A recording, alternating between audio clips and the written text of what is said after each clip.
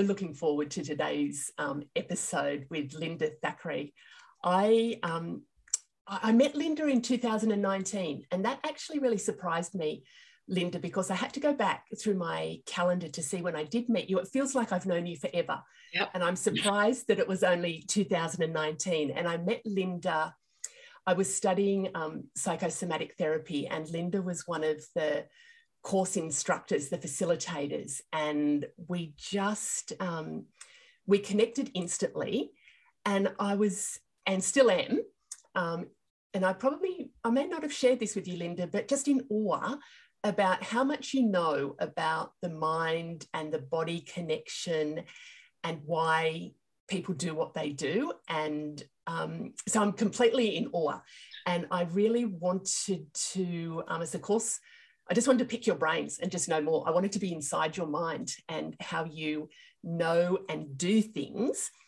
Um, and that doesn't happen to me often with with course instructors i really felt very seen very heard and the beautiful thing from there is that we formed this lovely friendship which um, i'm just love so i i want to chat with you today linda about you know how you do life um, personally but also linda has a really really interesting business She's made huge transitions in her life. Um, she's moved from senior corporate roles and is running her own business as the face and body interpreter. And that just fascinates me. So, Linda, welcome, welcome, welcome. Um, how are you? For such a beautiful introduction. oh, oh, do you know what? I'm just, um, I love just I, I, love the form, the friendship that we formed. I really love that. Um, for our listeners, I mean, I could be here. I've set my timer. Actually, I haven't set the timer. I'm about to set the timer um, because I could chat with you forever, um, but we won't. So, um, what would be great to start with, Linda, is if you just give us a snapshot of like a little bit about you and maybe where you're at in life. Thank you. Um, well, I guess because you introduced my background, yeah, yeah. maybe I could just tell you a little bit about how I ended up doing Perfect. psychosomatics. Perfect. I would love that. Yeah, yeah. So I've been really blessed within my working life, right from my very first job. And you know, I went to uni. The the subject that I was most interested in was psychology. Yeah and didn't really have at that stage um, a real idea of what I wanted to do. But psychology was the one subject that jumped out. And my world ended up taking a very different path. I ended up being a secretary. Oh my God, that's no wonder. I didn't know that. Yeah, my first Same. job was as a secretary. Yeah. and I had a had a manager at the time. He was the managing director of a national distribution company and about three months in, he actually asked me, he called me into his office and said, I need to ask you a question. Oh. Whose job in the company are you after? And if it's mine, then I'll be well and truly retired. So I want you to think about the answer to that and let me know. Oh my gosh. I've got goosebumps. I've so got I just said at the time, you know, I want to be general manager. Yeah. So they put me on a management training program and I had five different jobs within the next five years. Yeah. But then they sold to an overseas company. And when I questioned where I now um, was in the organization with the change of management, it didn't quite feel aligned. So I had a competitor at the time, and they sent me a job a job ad and uh, asked me if I would apply for this job, which I was like, well, actually, I'm really happy where I am. And it wasn't until I'd had those discussions that I decided to actually apply for the job. So I applied for the job as um, basically setting up an Australian distribution company for an American company. Oh, wow. And then that sort of set me on a career path working with them for many years. I became their general manager about 10 years after the time I'd had the conversation with wow the MD of the previous company. But throughout that training, I had I had always really um, been incredibly invested with like more of the relationship side, the people side. And that was the area that really inspired me the most. So my customers internationally were, it was more about them rather than the products that I sold. Uh, yes, yeah. And um, I was very, op- I had the opportunity of doing like many classes, workshops um, in between all of that. And they really helped me form the basis of like what I actually do now in terms of my work life. And psychosomatics has been just such a life changing experience for me. Yeah. I had my first reading when I was in 2008. Yeah. And it was profound to have an experience of being seen by someone who didn't know me and who knew more information than most of the people that um, I would, you know, meet yeah. um, along the way. Yeah. And Can I just stop you there for a second? Yeah. Because I, I know psychosomatics. I, our, our listeners probably don't. So I might just rewind you in a sec about that. But I can I can see such parallels in our paths that I um, started as a secretary. My path was different because my boss said to me, he, he wanted to get rid of me because I was full of attitude and I went down. But but that was a real blessing because that got me into training and yeah. coaching and consultancy. And that was my life path. And I'm just, as I'm listening to your story, the events that unfold are part of our life path, aren't they? That they're, yes, and opportunities yeah. that are open yeah. to us. And sometimes at the time we don't realize um, the magnitude. So uh, I just want to do a little um, pause there. But psychosomatics, what what is that? What what, what is it? Because you said you had your first reading and it was really profound. What does that mean? What, what does it look like? Sure. So the re- the style of reading I had, because there's many in psychosomatics, yeah, yeah.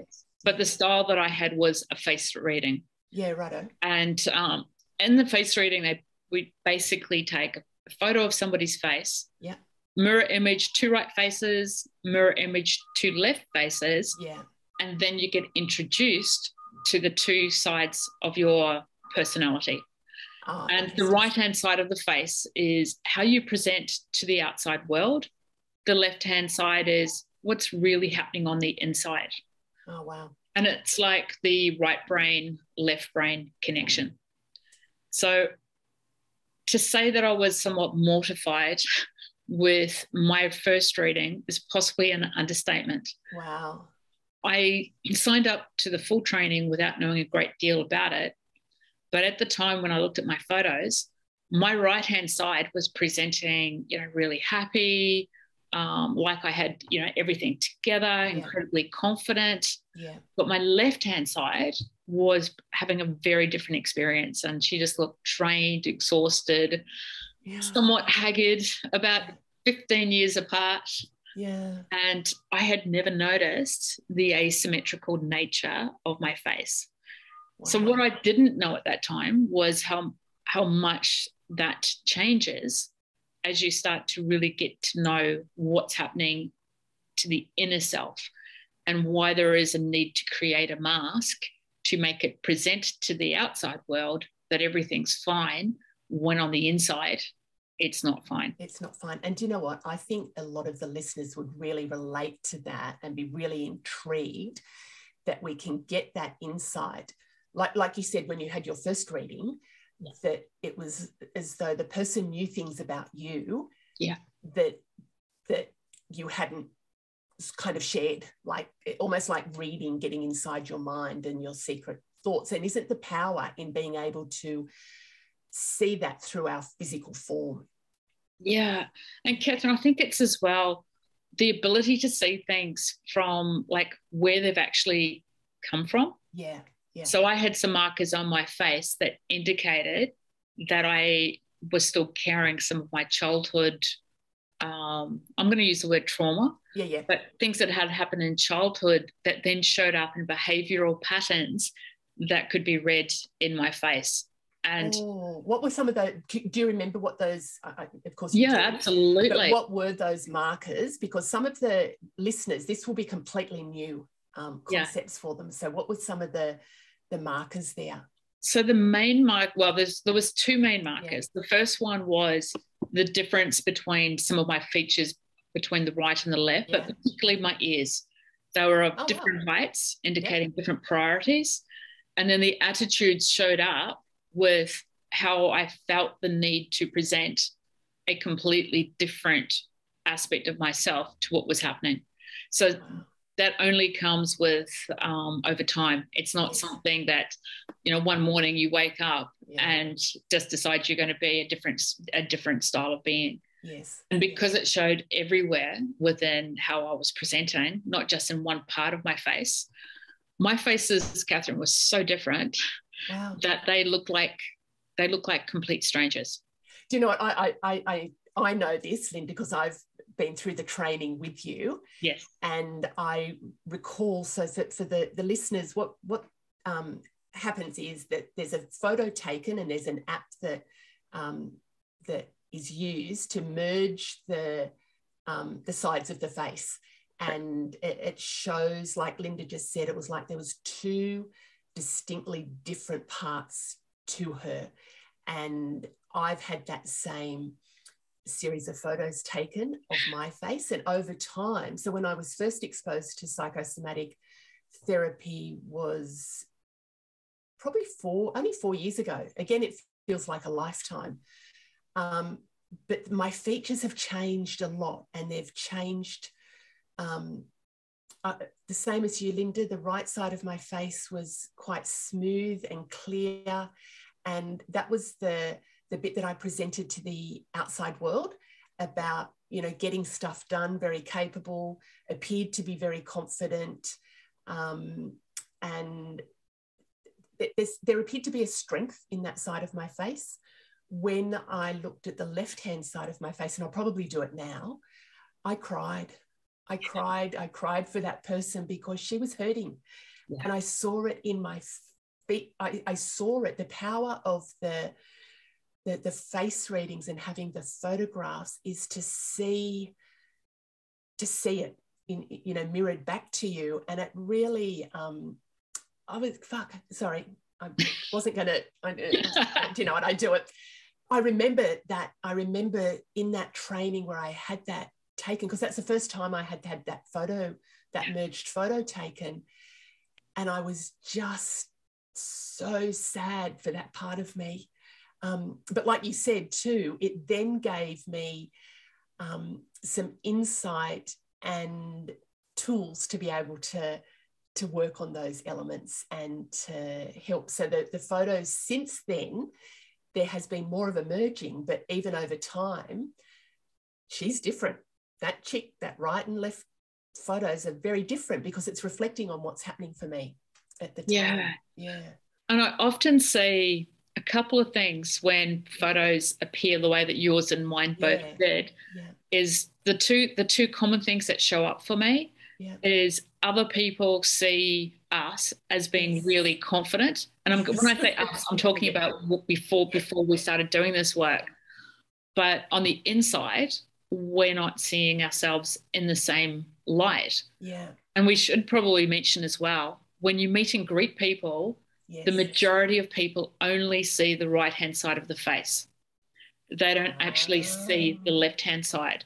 So when they are saying they're seeing a larger right, or right face, they're seeing that strong, confident personality. Wow. So when Wow, we wow. Yeah. when we don't feel strong and confident, and as people tell us that we're really confident, it can actually feel like we're not seen. Yes. Whereas in fact, whereas in fact, we have not actually quite got to that same level of understanding about the capacity. Because when you actually go and do things and you show up, maybe in the workplace or you know, particularly with um, when I say workplace because it's action orientated, it's the right hand side. When you actually show up, you show up well, but just behind the scenes is that doubt about the ability to show up. So what can change when you start to start to recognize the strength of that right hand side is the fact that that is you showing up. Um, And when you let yes. go of the need to have a mask, Yes. it's like the side that's quite protective of the feminine side, which is the left side, learns how to step back so that the feminine energy can step forward. And so instead of one side protecting another, Yeah. um, it's like they both walk together.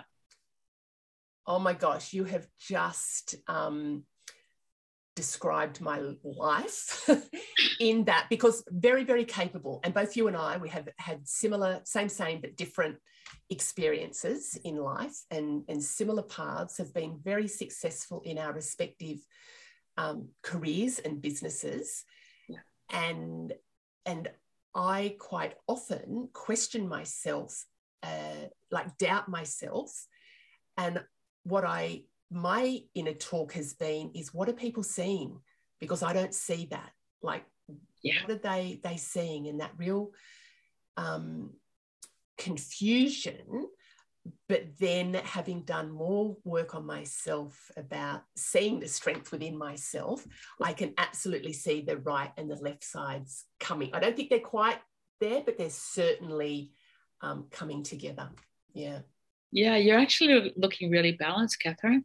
Do you know what I was thinking? I want to, um, uh, what we might do, Linda, not now, um, but I might do an updated photo because I haven't done that for, Would love oh, that would be so cool. And then we can, um, yeah, that would be just so cool. That would be so cool. So eh, why don't you, why don't you now, I'm just going to take my glasses off and we'll see how we go for the listeners because Linda and I are here together um, online and we can see each other and but the podcast is audio so we're going to see whether we can um, bring this to the the listeners but i'm going to take my glasses off and linda i would love for you to do a quick mini um, reading of my features so linda's looking at my face um, i'm looking in the camera and she'll do that bit of a, um, a reading and then I'm going to ask her the what, but what she was actually the process as well.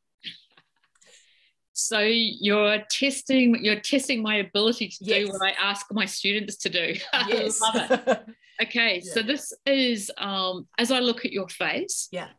which has changed from when I first knew you. You were more structured and more of a rectangular face when I saw you first. So true. So true. And what I notice is that your face is more oval, even though there's the structure is still there. So the oval basically means that you are open-minded, flexible, very concerned about the emotional side of um, how you respond to the world. Yes. And by letting go of the structure, you've actually let go of some of the more fixed ways and th- how things may need to be. So very much more go with the flow. Yeah. So true. So The- true. The vibrancy of your face speaks of how well you're actually enjoying the different zones. So in your mental zone, which is the forehead, Yeah. really bright, really vibrant, good healthy tissue. Same with the emotional zone, which is the lower eyebrows down to the nose. Yeah. And from the nose down to the chin, you, this area is quite wide for you. It's, it's both wide and it's long. So you've got a strong physical zone. In fact, three very good zones.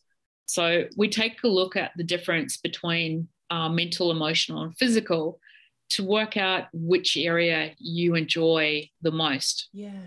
So you have an ability to conceive an idea, Yep. feel into it, and put it into action. That's me. That's Yeah. definitely you. Yeah. And because the physical zone is maybe slightly larger than the mental and emotional, just slightly, um, your approach is hands on. Oh my God, Linda, that is queen of practicality. I am absolutely the, absolutely the queen of helping people to be really practical and get stuff done. Yep. Now, as I look at your nose, your nose is reasonably straight at the front, at the top. Yeah. Um, so the area between the eyes, it's quite straight as it comes down, and it gets a little bit larger down towards the bottom. And it's got this beautiful circle. It's kind of we call it a creativity ball that sits at the end of your nose. Yeah. And when I, when you see someone who has like a little creativity ball, it's someone that's usually quite specific in something very specific. yeah. So the larger it gets, the more things in terms of the creative, um, physical creative arenas that you would normally be good at.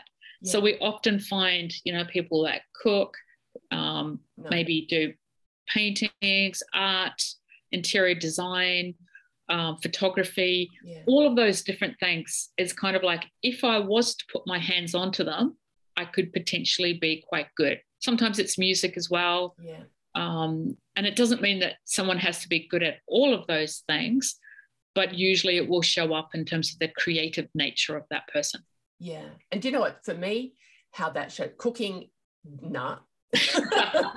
um, art, no. But I have really creative ideas and I do think outside the box. I know that the way I think about things, um, so I, I can 100% relate to that creativity element. The area that I see your creativity, Catherine. Um, even in terms of some of the things that you do up for your clients, these yes. beautiful, beautiful yeah. end of yes. year processes, yes. which are most, um, they're not just words, it's the decoration of how you actually present your images. So, all of that is part of that creative energy. Uh, that's really interesting because that is really important to me, and it's about the the look, the feel, and the experience. Yeah. For me, it's not just about doing something. I don't like to do things with inside the box. I like to have things um, that, that feel good. Look, it's an experience. It's the the feeling of it. Yeah. So that is that is that all that creative energy and even as I look around you, you know, I can see you've got a candle on the side. Yes. You've got some beautiful pink and white carnations. I think they're carnations. Yeah. Um, behind you, you've got some pillows, yeah. and they're just beautiful. Like everything yes. has a sense of the appreciation of beauty. Uh, do you know, oh, Linda, that's um, that's interesting that you picked that up from my nose. Um, but I bought this pencil case, and people, you might not um, see it. This was something that I bought in America. And what it is um, for the listeners, um, it just really resonated with me. It's a canvas um, tote bag, and it, on it, stamped on it is I'm going to make everything around me beautiful. That will be my life. And that was from Elsie de Wolfe.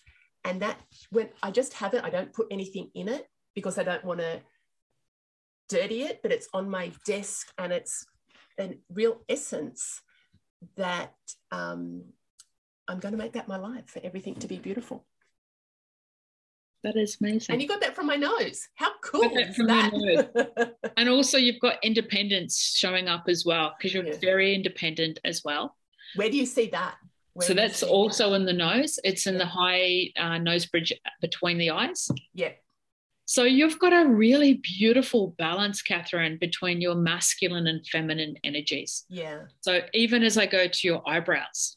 Yes. Um, so if I was drawing your eyebrows, yeah, what I would notice is that they are made up of like a straight line to start with, and they go upwards. So you've got this beautiful arch, yeah. but it kind of has more of an upward arch rather yes. than the Sydney Harbour Bridge arch. Yes. Yes. But because it's straight at the start, you do really enjoy the scientific understanding, the logic, where things have actually been. What you know, what's the origin? Yes. Uh, where did it come from? How long has it been been around? Yes. So you've got that. The way that that would work for you with your clients, the gap between the eye and the eyebrow, there's a lot of empathy when I see such a big gap. So empathy is one of your I think it's one of your trademarks. You are yeah. incredibly empathic. Yeah. But at the same time, the flat eyebrow is more solution based. Yes. So so if you had someone who's got a beautiful arch and they were married to someone who had straight, flat eyebrows straight, yeah. close to the eyes, you're looking at someone who is more solution based. So we get to see how the styles of interactions go. Yeah. Yeah. And your eyebrows are quite thick as well. So um, the thickness tells me of an amazing ability to multitask. And of course, I already know that about yes, you. Yes, yes. But if I didn't know that about you, um, that would be one of the features that I would uh, take a look and notice. Your eyebrows also go past the end of your eye quite significantly past yeah. the end. So rather than do 100%, um, at 100%, you po- possibly feel that um, you still haven't completely finished the project. So you're kind of going to do that extra 10%. Um, oh and God. equally yeah. as enthusiastic at that last 10% as what you yes. are um, at the start. Although, actually, in saying that, the intensity of here is darker at the front. Yes. So your yeah. most favorite place is the creation and start of new projects. Oh my God, this is just for for the listeners. Um, I mean, Linda and I know know each other, um, but the features that she is focusing on are describing me to a T. And for those of you who know me, you'll relate to those um, descriptions as well. It's beautiful, Linda, to hear your um, your interpretation of my features. It's beautiful to hear that reflected back um, and to sort of get insight into what those features mean. And that, do you know what? We're just in this um, this chat. We're just scraping the the surface. Um, could, could I ask you just while we're here, and I know you've described it to me before, my left eyebrow, and I notice this um, more because I'm doing a lot more video recordings, but it tends to go up a lot. Like when I'm thinking, there are points that I catch myself, and it is my, and so when you're looking at me, it's my left eye. Yeah. And I sort of, um, I don't know if it's going to do it, but there's times when she seems to be quite independent, that, that eyebrow. That eyebrow. Yeah. Well, you're very much, you operate a lot on the left hand side. So in that creative space. Yes. But the eyebrows tend to go down closer to the eye when you're intellectually trying to um, understand something. Yeah. So if you think about trying to focus, yes, the eyebrows come a little bit yeah. closer together. The eyebrows come down. Yes. So when you're operating in the heart space and having kind of that quizzical, you know, like, oh, really? You know, it's like that open hearted, yes, um, interesting, but you'll notice yourself, even if you try to go into that space, yeah, the eyebrows, particularly with the inquiring mind, yeah. will go upwards. Yeah. So one of the things we say also, because again, I mentioned that you're, you've got a gap yes. between your eyebrow and your eye, and that it's kind of flattish at the first segment, yeah. But then it kind of has this little peak towards the end. Yes. So sometimes, as a younger person, that peak can come around by the feeling of being judged by others. And what happens is, as you get older, that judgment changes. And we've heard already that you've that you had that internal judgment. Yes, absolutely. Um, you know, four or five years ago, yeah. and that you've learned to actually let go of yeah, that. Yeah. But as an older person, that that judgment turns into really amazing discernment and the ability to analyze. And love, love that. And that is like so much of the gifts that you offer as well. Oh gosh, I love. Oh, I lucky I do have the timer set because we could just talk talk forever. And um, so for the listeners, Linda's uh, is a face and body interpreter, and you can see from um, through the psychosomatic, so the the mind and the body and how they interact, and you can see or hear from even just the descriptions. And this is really um, we are just scraping the surface, but you can hear how much detail that we've got in probably 10 minutes of you spending time. And in reality, you would have actually summed all of that up in a very quick moment. Um, what are the things that sort of, what's the process, Linda? And I know that this is, you know, asking how long is a piece of string, but what are the things that you sort of look at first with someone? I look at the standout feature, but that's not the way we teach it. No. So you, when you first teach it, you basically go from the inside of the yes. face, yes. The, the, actual face shape, which is like a blueprint of your personality. Yes. Then you go to the three zones. The frame of mind is the actual hairline. Oh, the eyebrows are the distinction between your thoughts and emotions. Yeah.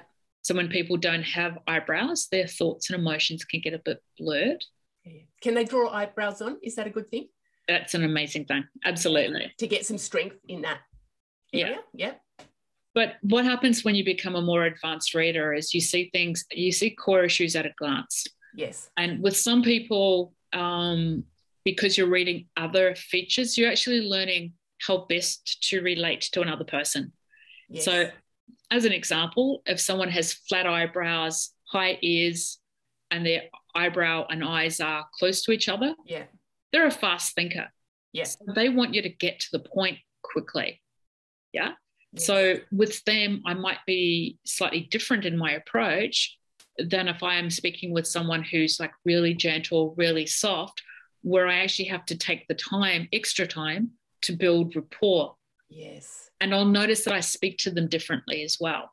We do it automatically. Like um, people are unaware sometimes at that ability to match another person. And for many people, it's an unconscious gift that they have. Yeah. But the nice way of looking at it is when someone has those softer features, you just got to take that time. So then I would start with them face shape, frame of mind, yes. so that they actually get to know that I know what I'm doing rather than get getting to a core issue really quickly. And the psychologists and people that are actually trained in other therapies, they just love the face reading and the psychosomatics yeah. because for them, if they're working with a client and the client says no, if it's showing on their face, particularly if it's an out of balance experience, then the psychologist or the, the therapist will know that the way that they have communicated has not been received in that way. Yes. Or there's an unconscious pattern um, that's presenting. So they know immediately that they need to find a different style of how to address the same issue, but in a different way. Yeah. Do you know, I love, Linda, I, I love it in so many layers because for individuals, it's really great for them to get some insight into themselves. Yeah. Um, and for me, when I was doing the study, that was very much what it was about. It was about getting insight into me. And then what I've been able to do with it since is I use it in my practice of, um, you know, my coaching and mentoring and training. But when I meet people, it's I, do what you do. I'm certainly not. I still want to be able to get inside your mind and you know your depth of knowledge and and just absorb that. But I use it as you know looking at the key features and getting some insight as to what might be going on for the person and how I can um, better relate with them. And I think what it does in my coaching is that it, I look at the features. It kind of matches up with what I'm intuitively feeling. And it helps me maybe to um, ask some questions or to explore some areas that um, to go deeper. I can go deeper and quicker with my clients yeah. by getting that sense of what might be going on for them. And because sometimes when you, uh, and you would know this too, working with clients, that they they often tell you what they think you want to hear. Yes. Um, but this is just there was one client I remember, and I think it was um, not long after the the training with you, and I just got a sense that there was something for her, and we had talked about um, the nostrils and taking in, um, you know, breathing in life, and there was a very different, and it's really interesting. There was a period of time that I really noticed people's nostrils, um, but there was a very distinct difference and and it just helped me to ask some questions. I didn't talk to her about her nostrils, but it helped me to ask some questions that really got us deep. Um, that I don't know I would have got to otherwise, if that makes sense. I completely understand that because sometimes the nostril is the one thing on a person's face that shows up as a personality completely yes. different yeah to everything else. And the way that I sort of see it, um, the emotion that we often look at, um, it can be grief, but more common, it's going to be anger and frustration. Yeah, yeah, yeah. And if people don't enjoy, and let's face it, no one particularly really enjoys being angry, but yeah. there's a certain personality type that will not tolerate anger. Yes. Yeah. And so that's where that shows up. So the whole face shows up as someone who's kind and beautiful yes. and generous and loving. And all of a sudden, you've got a feature that goes, I am really angry. Yeah. So as soon as I see that combination, I know that the person rejects anger within themselves. Yes, that was it. I, I, I remember because this was a couple of years ago. That was what was going on. There was this conflict in my yeah, was total, total conflict. Yeah, there was my gut was telling me that there's something blocking. Didn't quite know what it was, but the features were able to help me to kind of dive a bit deeper. I certainly yeah. don't think I remembered what you were just sharing there, but it was it certainly helped me. Yeah. Oh my gosh. And and for them to get to a stage where they can actually start to feel that as a frustration. Yes. Because it will often show up in an adult as more passive aggressive behaviors. Yes. And then they get upset because the outer world is not reflecting their true nature to them. Yeah. Um, so that can be it can be so so profound. Yes, and very subtle, very very subtle. Um, Linda, do you know what? At that time, I am literally have the timer on. We have just, um, like I said, we could talk for ever and ever and ever about this. How can people find you? How can people, because I know that our listeners are going to want to know more. So maybe before how they can find or how they how they can find you, but the types of things that you do in your business. I know you've got a couple, you've got training, you've got personal consultations. Tell us a bit. Yeah, more. so in a personal consultation, I either see people face to face, usually in Sydney, yes, um, or online. It works just as effectively online. Yeah. I get people to send in a photo, front on, straight, not smiling. Yes. And then I do the face splits in advance of the session. Yes. And then during the session, they're able to look at the screen whilst I'm explaining what it is that I'm seeing. Yeah. So I introduce that about halfway through the session. Um, I also do the full body sessions as well. Again, do a little bit of that online. It's very different from when it's been done face to face.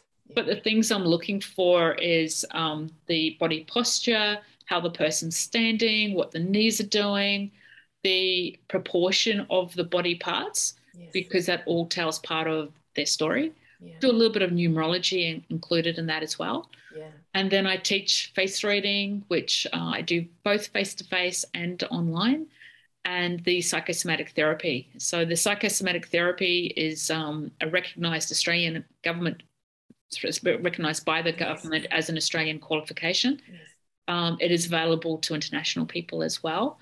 And the last year, we have spent a lot of time, myself and some of the other teachers and the college, putting part of that online so people can get half of their qualification and also become a certified face reader, hand reader, foot reader yeah. So we do the hands and feet as well.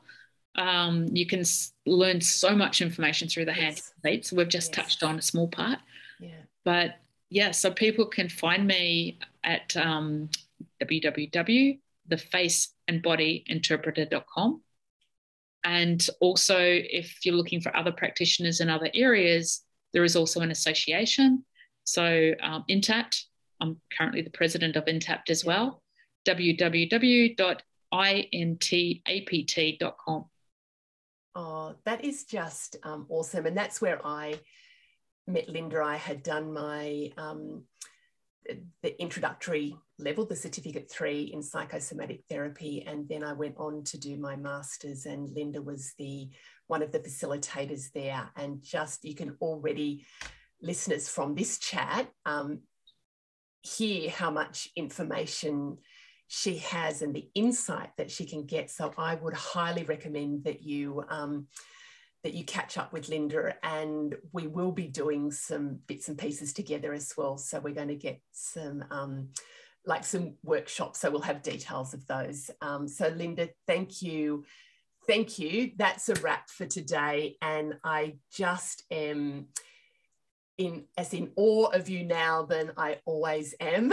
and um, I'm I'm really looking forward to catching up with you. So have a beautiful, beautiful day, Linda, and and lots and lots of happiness to you.